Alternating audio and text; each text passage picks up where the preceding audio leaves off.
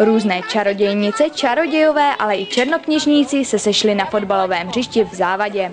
Spolu tak pěkně oslavili pálení čarodějnic. Přišlo kolem 30 dětí, dokonce přišli i někteří dospělí, kteří si troufli oblít se za čaroděje nebo za čarodějky.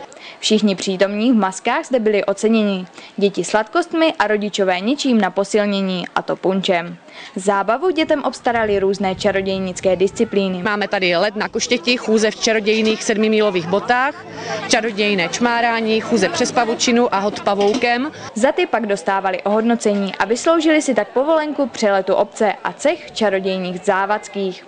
Nechybilo samozřejmě upálení čarodějnice. Poté už se pak rozjela volná zábava, kdy se opékaly párečky a všichni se mohli vrtět v rytmech na parketu. Vše zde pro děti uspořádal klub rodičů mateřské školy. Z závady Markéta Jeníková.